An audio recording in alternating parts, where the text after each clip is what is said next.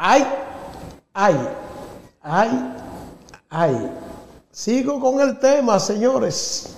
Con el tema de Abel, de Abel Martínez. Sí y sí. Hay que continuar hablando de lo de Abel Martínez. Porque al parecer, Abel, Abel le cayó gas. Abel le cayó gas. ¿Qué cosa esta de Abel Martínez? Abel tiene problemas serios, muy serios. ¿Por qué? Miren,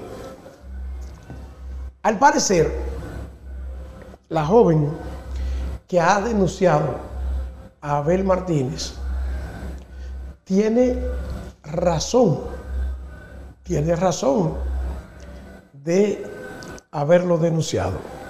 Hasta este momento,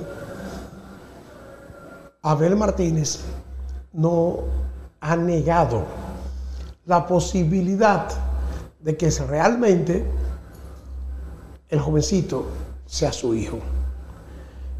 Yo diría que por el contrario, él está casi seguro que es su hijo. Tanto así que ya él comenzó a mantenerlo. Ya Abel comenzó a entregarle recursos.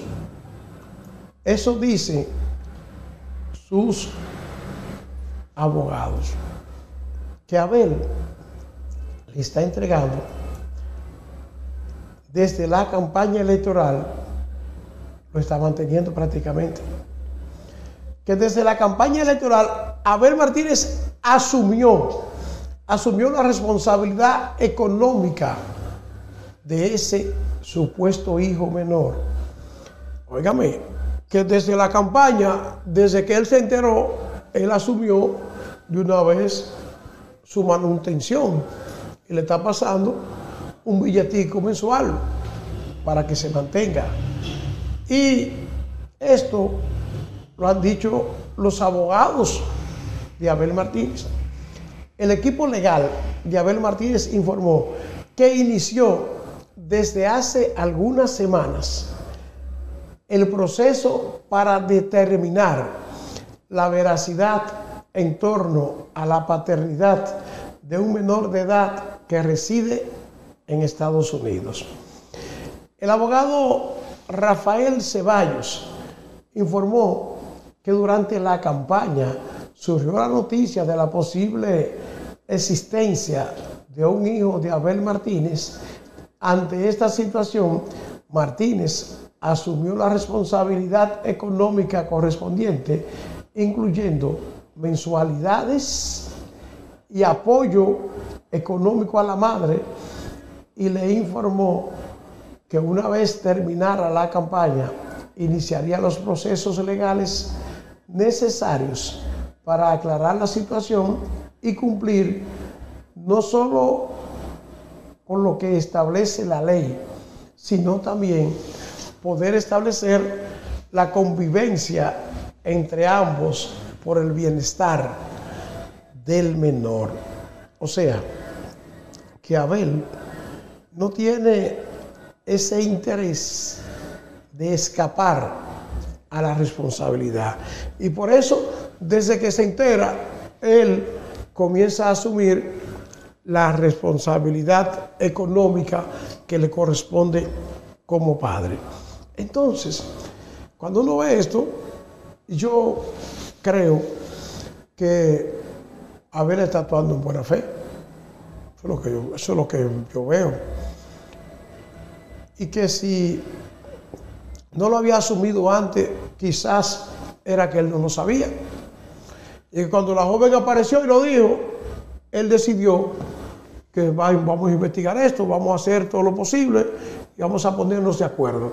Y ya, oigan esto, ya él está, ya él está asumiendo la responsabilidad de darle el dinero que necesita el jovencito. Ahora, miren, ojalá. Ojalá que la madre, que la madre de ese jovencito no se deje llevar, no se deje llevar de algunos agitadores, algunos agitadores que lo que buscan es dinero, sí, porque hay agitadores que buscan dinero y van y le venden sueño a la gente. Que no se deje llevar de agitadores que lo que buscan es dinero y que trate y que trate de buscar el bienestar para su hijo. Que si es hijo de Abel, que Abel asuma la responsabilidad como padre y Abel también asuma la responsabilidad durante este tiempo y vaya y diga lo que hay que decir, pero además que la madre le permita al niño poder compartir con su padre si es que es así. Y también que Abel permita que ese jovencito se eduque y crezca sin remordimiento, sin odio para su madre ni para su padre. Ojalá que ayuden a la jovencita que está denunciando que Abel la embarazó cuando ella tenía 16 años. Ojalá que esa jovencita logre una orientación y logre asistencia de personas, de personas de bien. ¿Por qué? Porque lo que está en juego ahora es la estabilidad de su hijo. La estabilidad de ese hijo que la madre ahora sale a decir es hijo de Abel Martínez. Entonces, Abel Martínez tiene una responsabilidad que es la de poner este jovencito por el camino correcto, suministrarle los recursos para que se pueda educar y pueda llegar a ser alguien en la vida. Y la madre tiene que actuar con mucho, pero con mucho sentido para evitar hacerle daño al niño y, pasarse, pasarse en una sociedad donde se ve absolutamente de todo. Reitero que ya Abel Martínez está manteniendo el hijo que dice una mujer tuvo con él.